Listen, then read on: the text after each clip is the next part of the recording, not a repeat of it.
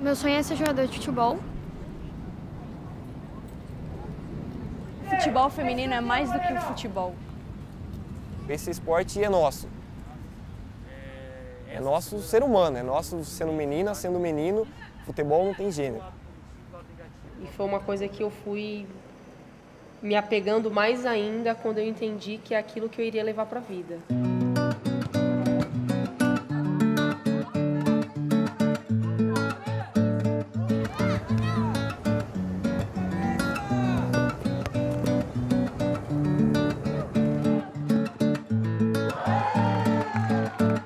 Luta estar aqui, entendeu? E competir com o horário com os meninos, é, de você chegar numa quadra é, de praça ou de parque e falar, não, esse horário é das meninas. Chegar em qualquer lugar e falar, não, esse horário, esse espaço é nosso também e a gente vai usar. Quando eu e a Nina estávamos crescendo, a gente se via como diferente por gostar de futebol, né? Diferente das outras meninas, mas a gente não reconhecia que isso é. Isso acontecia por causa desse machismo, dessa forma que a gente é criada para ser separada do futebol, né? E, e, hoje eu acho que as meninas elas identificam isso. Elas estão na escola e elas são proibidas de usar a quadra e elas sabem que isso está acontecendo porque elas são meninas. Acho que tem os meninos que são muito fortes, né? Aí às vezes vem mais forte em mim, mas eu sempre tento ganhar no corpo, até dar uma entrada mais forte igual eles dão em mim. A gente não vai chegar ao nível deles porque eles são muito mais fortes, mas a gente tenta o máximo e na raça com eles também. É muito engraçado porque dá a sensação que nós temos que ficar provando o tempo inteiro que nós temos capacidade para tal função. E onde, na verdade, eu acho que falta é acreditar, é dar o espaço realmente para que para que ela mostre o quanto ela sabe fazer. Acho que não é mais somente aquela menina atleta que pratica sozinha e tem que e, isso gera um desconforto em casa, isso gera um desconforto no meio. Cada vez mais as pessoas têm aceitado. Acho que ainda falta muito para a gente chegar no cenário ideal, mas o respeito ele está sendo conquistado por elas. Minha família sempre gostou muito de futebol, sempre me incentivou e eu sempre joguei com os meus amigos, sempre acharam muito legal é, eu jogar e aí eu tenho esse sonho também de ser jogadora e muitos me apoiam. Eu acho que uma das grandes mudanças para as meninas e para as mulheres no futebol é a gente estar falando sobre isso, falando sobre assédio, falando sobre machismo, falando sobre todas essas, essas dificuldades, né, esse, esse preconceito que é, com o qual a gente é criada e que por isso a gente é afastada do futebol. E acho que entendendo isso, você começa a falar, não, mas peraí, na verdade, não é que eu não me interesso por futebol, eu acho chato, é porque eu nunca tentei me interessar, porque sempre me afastaram disso. Só queremos jogar. Sem ninguém vir assediar a gente, sem ninguém fazer piadinha, gracinha. É só isso que a gente quer, nada que não seja nosso por direito.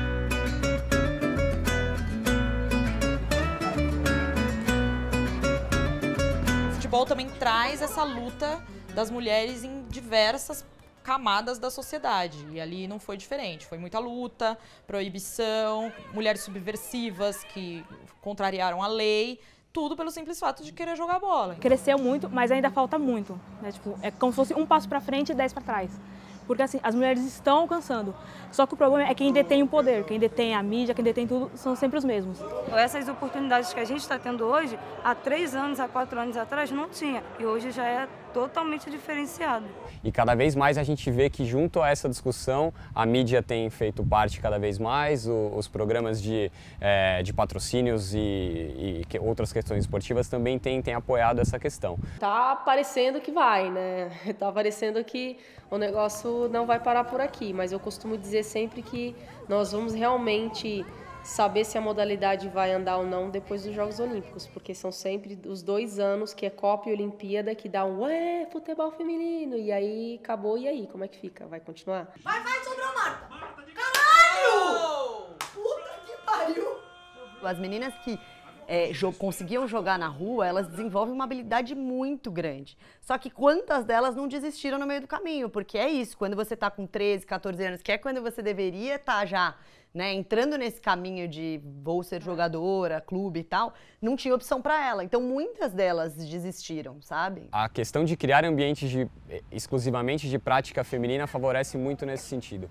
Elas se sentem muito melhor jogando somente com outras meninas do que tendo que dividir espaço com outros meninos ou familiares e treinadores que talvez não entendam a, a participação da, da mulher, da menina do esporte. Onde eu vou jogar? Uhum. Onde é a escolinha? Onde é a base que eu posso ir? Tanto é que muitas jogam com meninos. Elas, às vezes, são proibidas de participar de campeonato porque é campeonato masculino e tem uma menina ali no meio. Eu gostava de, tanto de boneca como de bola, mas eu preferia a bola. Mas eu comecei a jogar em escolinha na escolinha do colégio. Aí eu comecei jogando com meninos e tinha acho que uma outra menina jogando comigo. Só nós duas. Ô Mari! A gente vê cada vez mais as meninas podendo se espelhar numa Marta, numa Cristiane, na Érica, na Formiga e não somente no Neymar, no Ronaldo e tudo mais. Talvez as meninas passem a enxergar, olha que legal, futebol, poxa, tem alguém ali que me inspira sabe? Tem alguém que venceu e que realmente eu vou querer fazer. Então elas têm que aproveitar o máximo, têm que agradecer, têm que valorizar é, e tem que lembrar que mal ou bem nós somos as atletas que pastamos lá atrás para as coisas acontecerem hoje.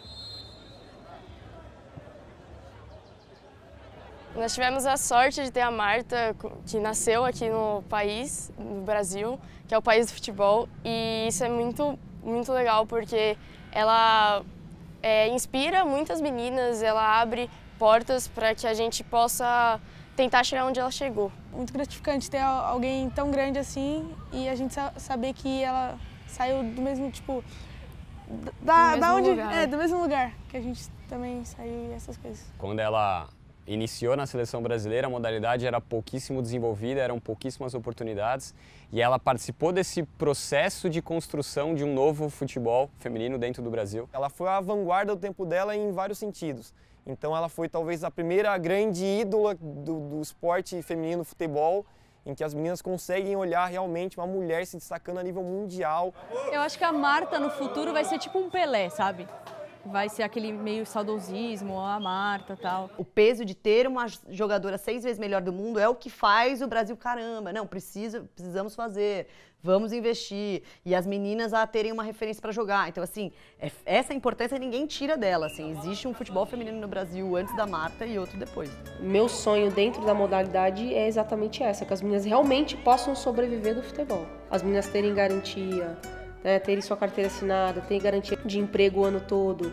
Não só de chegar no meio do ano, acabou o time, não tem, que, não tem como pagar a menina, ela tem que se virar, ela não tem assistência necessária, porque é o que eu canso de ver dentro do Brasil. Assim como em todas as outras áreas, as mulheres também não foram incluídas naturalmente. No futebol, elas também foram excluídas e elas ainda assim jogaram, jogaram, sempre jogaram, e aí cons conseguiram conquistar esse espaço por meio de muita luta e resistência.